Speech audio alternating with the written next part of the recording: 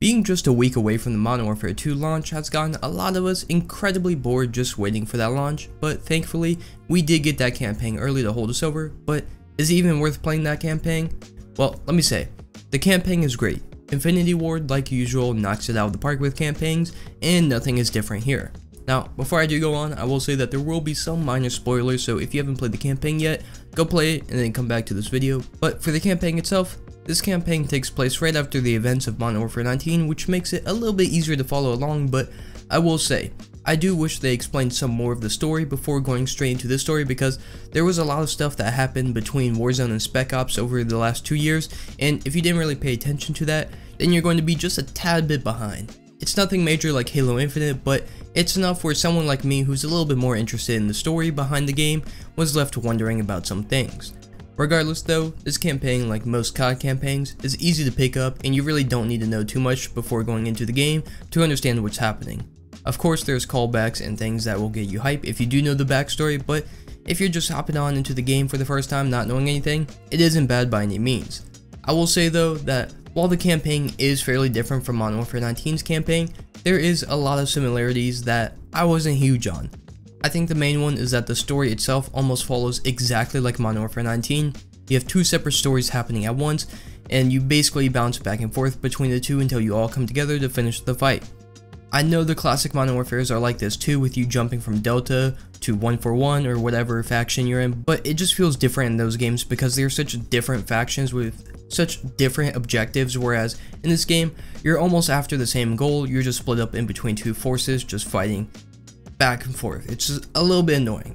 Regardless though, I don't hate it, it works, but I do wish they shaked it up a little bit from this classic formula. Other than that though, the only other things I didn't really like with this campaign was 1. The difficulty, and 2. Some of the dialogue. Now, going into the difficulty, let me say, I have played almost every COD campaign on the hardest difficulty, have it be realism or veteran or whatever, and you can even see this as I have Cold War and Modern Warfare playthroughs on those difficulties on my channel, but Never have I ever played a campaign this difficult on such a low setting. I played this on regular and it felt like it was on hardened the entire time. The time to kill at points were just so high that it became annoying and every other enemy they threw at you was a fully armored titan that just took 3 mags to take down and it just became increasingly annoying and repetitive over time. I've also seen other people talk about this difficulty as well so I know I'm not alone here, but it's something that might turn people away. Now don't get me wrong, it's nothing unbearable, but at times you will be wanting to get off the game, which shouldn't be the case for a campaign. For the dialogue though, there's these times in the games where you can basically just talk with people like Ghost or whoever, and you could choose the dialogue, and at points, it really just feels out of place. Of course, it is cool to hear unique dialogue and just talk, but other times it's just like, why am I talking here? I think the main one that comes to mind that I really don't like is that there is this really, really undercover mission where you literally have to be quiet, but for like half the mission, you're just talking over the radio, which also doesn't make sense if you play the mission, but still, it just feels really out of place that you're talking with someone and just like having normal conversations in the kind of situation you're in. Of course, you can simply just not answer and be quiet, which is nice, but still, some of this dialogue just feels really out of place in my opinion. Other than that though, everything else was pretty well done. Of course the gunplay and mechanics felt good, sounds were A tier, missions were fun and engaging, and the story despite how predictable it was, it was still fun to follow. The missions themselves were actually fairly unique for COD and brought a lot of mechanics that were nice to see.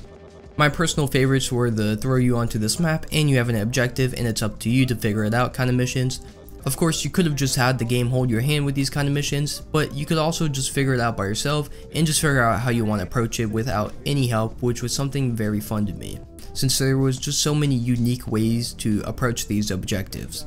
It was really fun seeing my friends approach these missions different to me because we all kind of approached them differently.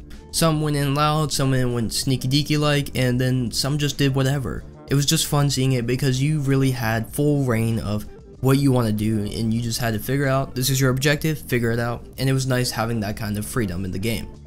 Also with these missions as well, and just overall a lot of the missions, we got to see what I would assume are DMZ mechanics with how you can craft stuff with materials you find around the mission, and you could use that to like open up more of the map, or find more approachable areas, or you could just make utility to approach a enemy, let's say, differently. And usually with COD campaigns, it is very linear and doesn't have much for freedom, but this campaign really knocked it out of the park with how you can approach a lot of the stuff. And of course, there are still those linear missions, but there is a ton of freedom in this game, which I really like to see because normally you don't get to see that, and it just opens up the creativity you can have with the game. Overall though, this campaign was just all around a solid campaign, which is to be expected from Infinity Ward, and it also introduced a lot of mechanics that made it even more fun. I don't think this is the best campaign ever because of how predictable the story was at times and how familiar it felt at times with how it plays out, but I will say it is a really solid campaign. If it came down to it, I think this campaign would be a solid 8 out of 10. I just wish they shaked up the story a little bit more so it wasn't as predictable. But other than that, the mechanics of the game and just the overall fun you had was just really fun and it really does push this campaign. This is definitely a campaign you should check out before the game comes out, or just check out in general, because it is fun and the story will bleed over into the rest of Modern Warfare 2 when that game comes out, which will make knowing the story of the game just a little bit easier to understand and a little bit more fun when you see the cinematics when you load up the game. Let me know though what you think about this campaign and if you liked it or not. If you did enjoy the video though, make sure not to leave without leaving a like and subscribing for more COD content like this, but until the next time, see ya.